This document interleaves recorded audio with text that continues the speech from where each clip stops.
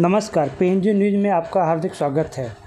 दिनांक 14 मार्च को अहमदाबाद के गोमतीपुर विस्तार में मुस्लिम समाज के इदरतुल उम्मत ग्रुप के द्वारा ब्लड डोनेशन का कार्यक्रम किया गया है, जिसमें मुस्लिम समाज के मुख्य मेहमानों के साथ साथ युवाओं ने भी बढ़ चढ़ के भाग लिए हम आपको बताना चाहते हैं कि इस ऑर्गेनाइजेशन के प्रेसिडेंट अध्यक्ष भी हैं, एक कम उम्र के युवा ही हैं।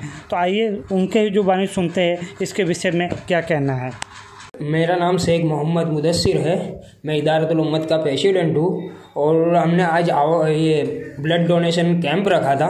वो कैंप एस के साथ हमने रखा है और उसके लिए हम लोगों ने ऐसा है कि ब्लड की ज़रूरत बहुत पड़ती है गोमतीपुर में तो अरेंज हो नहीं पाता। दूसरे एनजीओ से हमारे वो करना पड़ता है।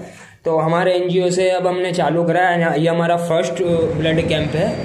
तो हमने ऐसा सोचा है कि गोमतीपुर में आजू बाजू के एतराफ़ में ब्लड की ज़रूरत पड़े तो हमारे, हम अरेंज करके उनको दे सकते हैं, क्योंकि ज़रूरतमंद को जल्दी ब्लड मिलता नहीं है, और हमारे पास अगर वो कांटेक्ट करता है तो उसको आसानी से ब्लड मिलेगा।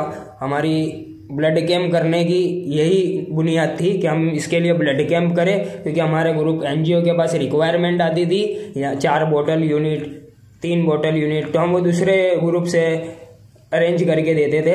अब हमने फ़र्स्ट ब्लड कैम्प किया है। इन अब हम ही अरेंज करके देंगे, जिसको भी ब्लड की ज़रूरत पड़ेगी।